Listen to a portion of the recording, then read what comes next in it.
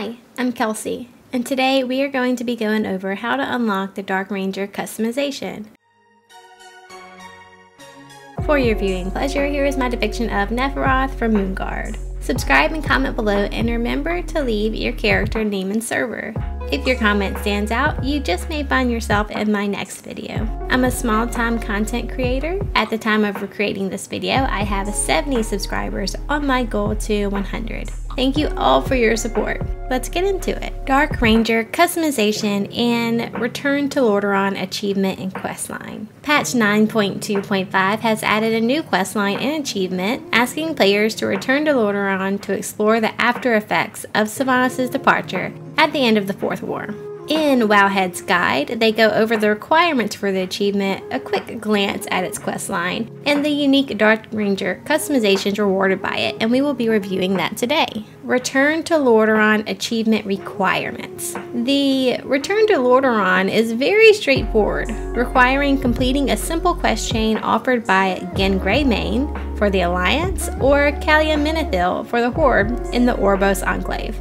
Although all players can do the quest line and the achievement is account wide, be aware that one of the rewards requires that a hunter actually complete the quest line rather than just having the achievement unlocked. So if you only intend to do this quest once, consider doing so on a hunter. You need to complete the achievement on your hunter to get the armor set. Once you learn it, it's across all of your characters. However, I've read somewhere that the armor set needs to be level 48 before you can transmog into it.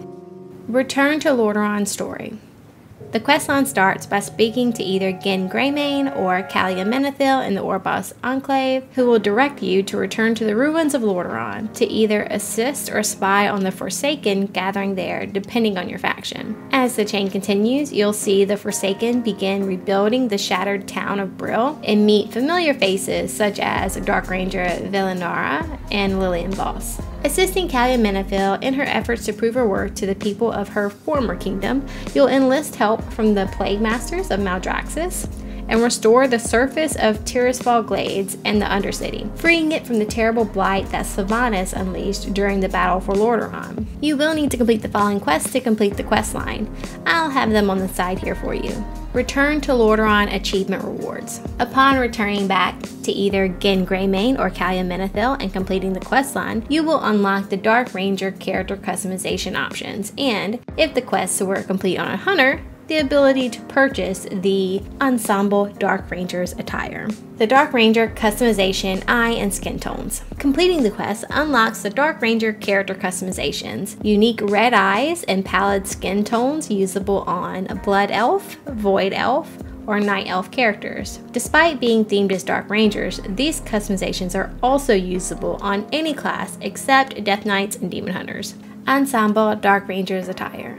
The Dark Ranger's attire is a special reward available only to hunters who complete the achievement questline, identical to the armor that Sylvanas' own Dark Ranger NPCs wear throughout the game. Although unlocked by completing the achievement questline specifically on a hunter character, the ensemble is actually purchased from Outfitter Reynolds at the Trueshot Lodge, Legion Class Hall, for 1000 gold while the Dark Ranger customizations are only usable by Blood, Void, and Night Elf races, the attire can be worn by any hunter. I hope this guide was helpful.